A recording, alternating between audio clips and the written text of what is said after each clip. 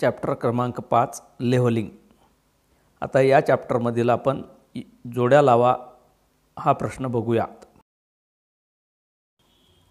जोड्या लावा simple levelling साधे संतलन. तर यामध्ये बदल बिंदू घेण्याची गरज नाही आहे कारण सिंपल लेवलिंग म्हणजे हे उपकरण एकाच जागेवर ठेवून दोन बाजूचे रीडिंग घ्यावे लागतात.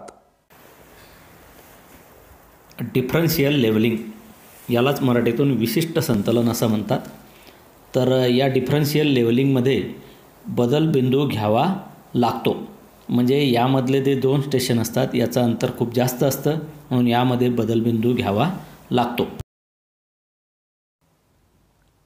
फ्लाय लेवलिंग याला मराठीतून उडते संतलन असं म्हणतात.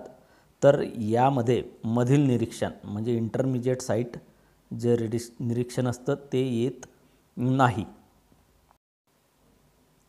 चेक लेवलिंग याला मराठीतून ताळा संतलन असं म्हणतात.